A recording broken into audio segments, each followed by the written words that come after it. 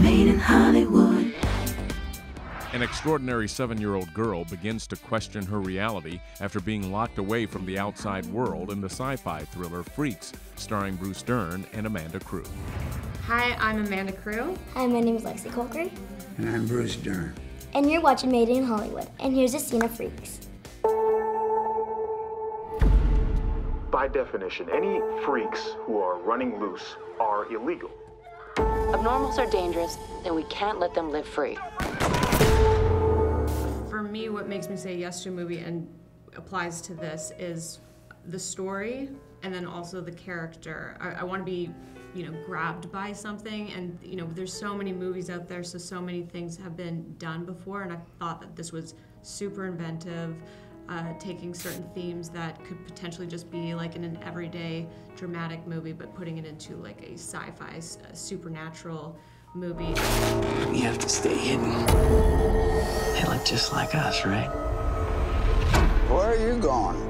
And we wrote it for us to direct. And we didn't want to act in it, but we thought, well, we're not going to have any money, so it's going to have to be us. But luckily, as we were writing the script, people started really liking it, and things started to kind of come together. We got a casting director, we started sending the script out, and one of the very first actors to read it that, that wanted to be in it was Bruce Dern. You gotta be strong like your mom was. You knew my mom?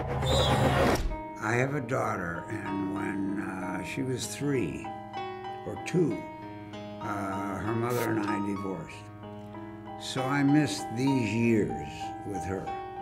And when I'm given an opportunity to go and really look at that and come out and be kind of a dad or kind of a help, you know, anything in a relationship with somebody like this, I didn't know I was going to work with a wizard.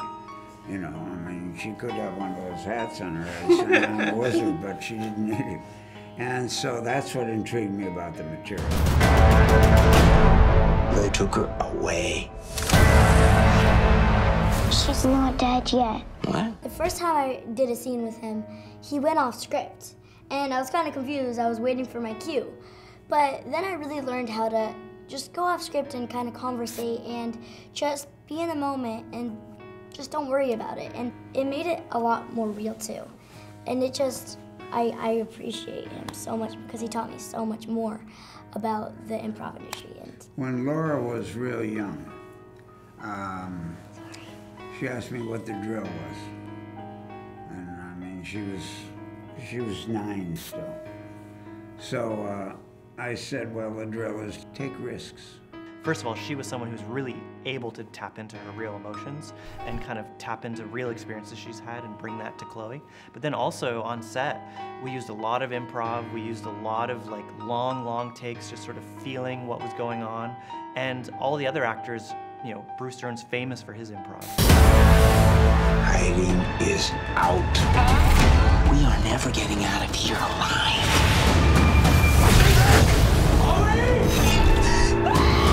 Our favorite movie going experiences as movie fans are the ones where we don't know what's going to happen next. But it is so rare. Like, normally when you go into a movie, especially like a sci fi movie or horror movie, you kind of know what's going to happen.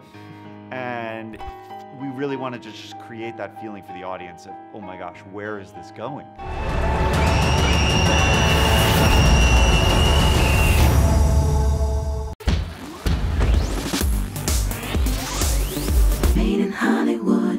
Guys, thanks for checking out this video. We want to know what would you have asked? Let us know in the comments below.